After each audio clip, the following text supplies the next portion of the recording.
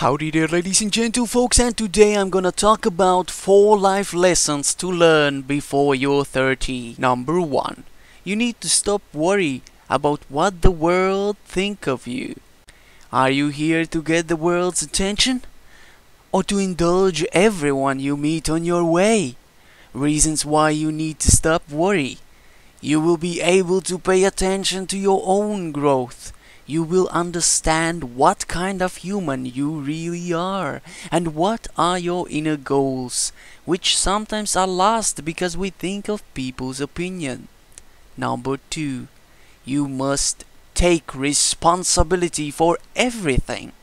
Perhaps it's pleasant to be a free bird, to have no responsibility whatsoever.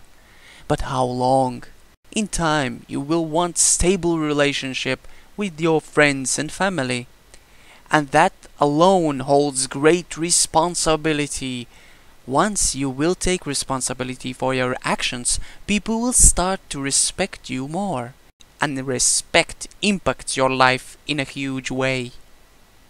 Number three, you have to understand the value of relationship. Friends, family, people that are close to you or will be. Perhaps running around the world will make you forget how to properly take care of your family. Don't be the person who turns to his family only when he needs something. With stable relationship, you will be happier and more confident about yourself. Also, the people who raised you deserve some love back. Number 4. You have to understand that your body is a temple. You must take care of it. Regular Friday nights at clubs, smoking, toxic food. This sentence reminds me of a TV commercial. But it's important to repeat these words so you understand what really bothers you. Unhealthy lifestyle is using your body. You will wake up when you're weak or sick. And if you wake up at that stage, it will be much harder to change something. Take care of your body every single day.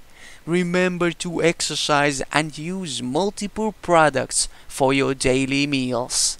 Thanks for watching everyone. It was pleasant pleasure to make this episode for you because it just felt something special.